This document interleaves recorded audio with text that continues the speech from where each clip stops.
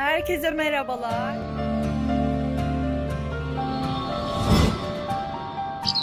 Ben de emek veren bir kadın olarak e, şimdi Tarsus'ta yeni aldığımız limon bahçemizin e, çiftçi kayıt sistemine kaydettirmek üzere ilk işimiz bugün e, elimizde tapumuzu alarak tapu örneğimizle beraber Tarsus ilinde bulunan Ziraat Odası'na geldik. Burada ilk önce Ziraat Odası'na kaydımızı yapacağız. Ondan sonra bakalım bizi ne bekliyor. Önce e, ziraat odasından çıktık. E, buraya tapumuzu ve kimlik bilgilerimizi de vererek e, bahçemizde ne yetiştirdiğimizin beyanında bulunduk. E, bizim Taşçılı bahçesinde şimdi e, Lamas limonu ekili olduğu için e, dönümünü de mutlaka bildirin. E, çünkü e, bu bize daha sonra hasat döneminde lazım olacak. E, hangi ürününüz varsa bahçenizde yetişen ağaçlarınız e, ve özellikle bunları belgelendirmek, bunlarla ilgili desteklerde bulunmak istiyorsanız e, bahçenizde bulunan tek yıllık ya da çok yıllık tüm bilgilerinizi e, ziraat odasına ve bulunduğu metrekare e, ile birlikte bildirmemiz gerekiyor. Ee, şimdi e, bize formlarımızı e, verdiler. Ee, biz bu formlarımızı biz orada gerçekten e, tarım yapıyor muyuz, yapmıyor muyuz diye köyümüzün muhtarına ve muhtarımızın da iki azasına formlarımızı imzalatacağız. Daha sonra da ikametgah bilgilerimizle birlikte çarşamba günü yeniden ziraat odasına geleceğiz.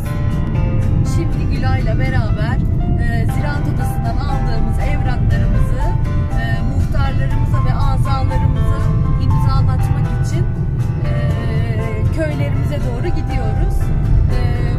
muhtarlarımız da arazide çalışıyorlarmış. Biz de onların peşinde hangi bahçedeler bakalım şimdi arayacağız onları. E, neredelerse biz onları her yerde buluruz. Yine de gider imzalatırız evraklarımızı. Hadi bize kolay gelsin.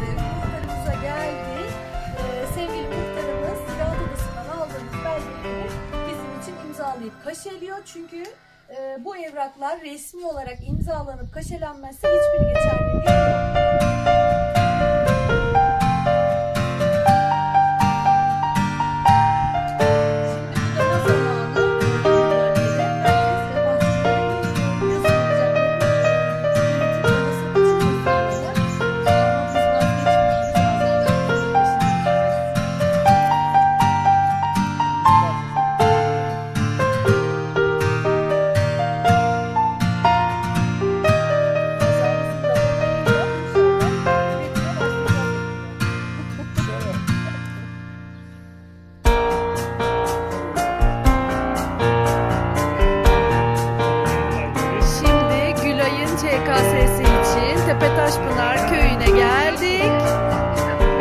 Taşpınar köyümüz muhtarı Gülay'ın CKS'sini imzalıyor. Böylece e, Gülay'ın Tepe Taşpınar'da üretim yaptığı araziyi onaylatmış oluyor.